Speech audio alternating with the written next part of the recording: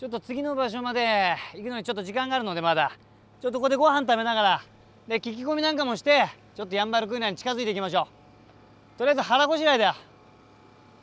5時からやってっから。しんどいのよ。ちょっととりあえず腹ごしらえだよ。いい香りするぜ。ヤンバルっぽいやつ。おざす。牛そば？はい、牛そば。いや珍しい牛そば？すごい。すごい量牛そば。一人につく量がすげえな。初めて食べる牛そば。ええ。まあ麺あ麺はでも沖縄そばのやつなのかな？ちょっとスープ。おわなるほど。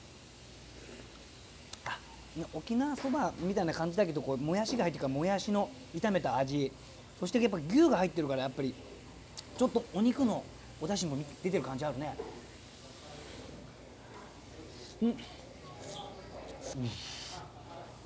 うんうめえ。めちゃくちゃうめえ。なんだこれ。野菜も食べて牛も食べてバランスよく食事をして体力つけて次で一気にヤンバルいくよ。一気にヤンバルいくよ次で。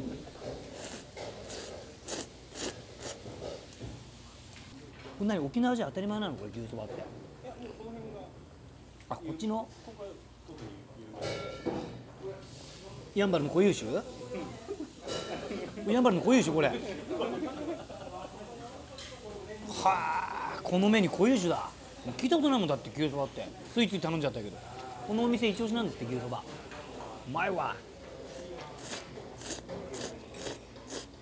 うん。今日は牛そば食べに来たわけじゃないけど牛そば食べに来たロケに変えてもいいぐらいうまい。うん。これをこう今回は本当取れ高なかったらこれで押したいぐらい。それぐらい本当に美味しい。スタジオに持ってきたいぐらいだよこれ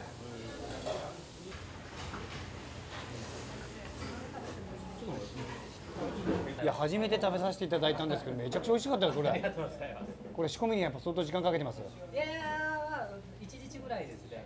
そうですよねやっぱり前日から前日から。いや俺食べて思ったんですよこれ簡単じゃねえなって簡単じゃないついでにもう一個聞きたいんですけど、ヤンバルクイナを見るってやっぱ簡単じゃないですかいやー、私たちですらあんまりそんなしょっちゅう見たことはないですね。でも見たことあります？あのたまに、あの道路を横断したり。よく言いますよね。うん。だからこのやもうちょっと北の方ですけど、うんうん。山のこの道を走ってたら、うん。パッとたまに見るぐらいで昼間でも？昼間でも。じゃあまだ見るんだってもっともっと北に。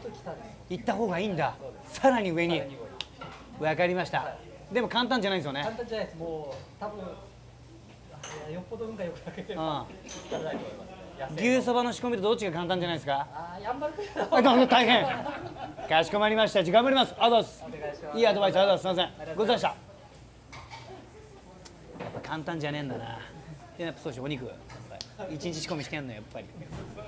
ああ相当なもんよ。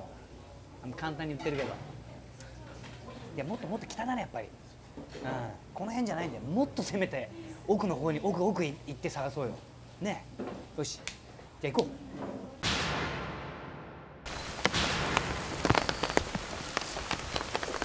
いた。